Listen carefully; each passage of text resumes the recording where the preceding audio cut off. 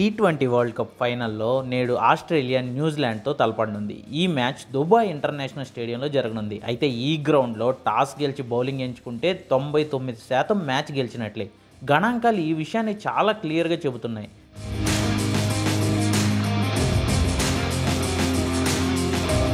Dubai స్టేడియంలో రాత్రిపూట జరిగిన గత పదిహేడు మ్యాచుల్లో పదహారు సార్లు టార్గెట్ చేసి చేసిన జట్లే గెలిచాయి. వీటిలో తొమ్మిది టీ ట్వంటీ వరల్డ్ కప్ మ్యాచ్లు అయితే మిగతావన్నీ ఐపీఎల్ మ్యాచ్లు ఐపీఎల్ ఫైనల్లో చెన్నై సూపర్ కింగ్స్ మాత్రమే మొదట బ్యాటింగ్ చేసి ఈ స్టేడియంలో విజయం సాధించింది. గత మ్యాచ్లో పాకిస్తాన్పై ఆస్ట్రేలియా కూడా దుబాయ్లోనే విజయం సాధించింది. నాలుగు ఓవర్లలో యాభై పరుగులు చేయాల్సిన దశలో గెలుపు అసాధ్యంగా కనిపించిన ఆస్ట్రేలియా బ్యాటర్లు వేడ్ మార్కస్ టాయినిస్ కేవలం మూడు ఓవర్లలోనే లక్ష్యాన్ని ఊదేశారు.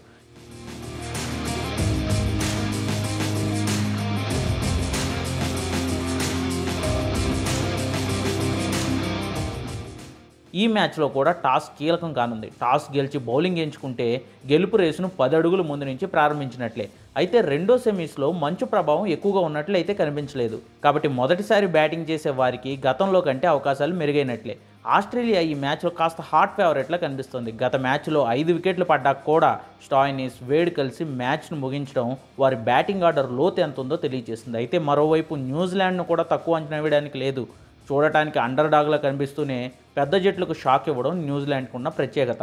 భారత్ ఇంగ్లాండ్ లాంటి జట్లు కూడా ఈ టోర్నీలో న్యూజిలాండ్ చేతిలో ఓడాకనే టోర్నీ నుంచి నిష్క్రమించాయి. కాబట్టి ఫైనల్స్లో ఆస్ట్రేలియా న్యూజిలాండ్ను ఏమాత్రం తక్కువ అంచనా వేసినా భారీ మూల్యం చెల్లించక తప్పదు. అయితే ఈ మ్యాచ్లో ఎవరు గెలిచినా కొత్త విశ్వ విజేతగా చరిత్ర సృష్టించినట్లే.